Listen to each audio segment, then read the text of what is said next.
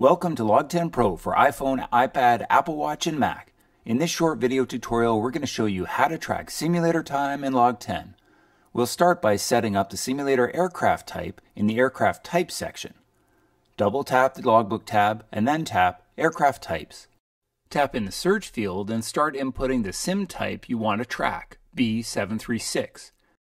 Now, to enable a LogTen to distinguish between types, you must give the simulator type a different name than the actual aircraft. So we add sim and hit the plus create entry button.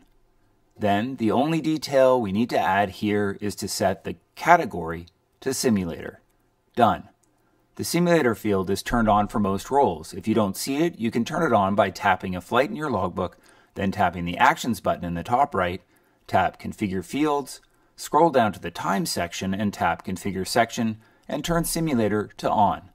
Also be aware that if you fill in the simulator time and then hide this field, the data is still saved and shown in the Analyze tab in your logbook.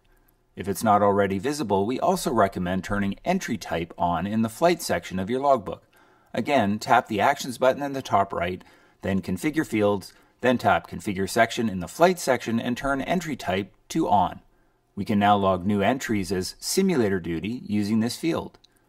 So for example, when we log a simulator flight in the B736 sim, we start by creating a new entry in the Flights and Duties section of LogTen, choose Simulator Duty in the Flight section, then we tap Aircraft Type, and in the search field, with My Types chosen, type B736 and choose the sim.